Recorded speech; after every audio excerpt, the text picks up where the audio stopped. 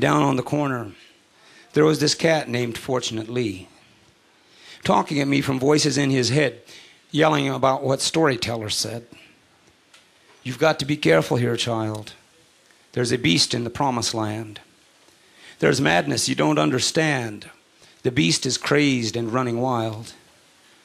Little boy, man, little girl, woman, no big deal.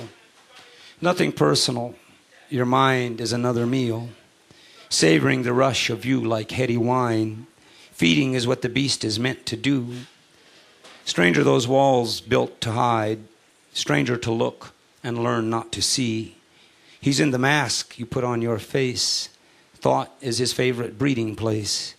In the race to midnight, it's after 11. The nature of the beast is all he knows. Behind doors of hell are gates of heaven. The doors are open, but the gates are closed.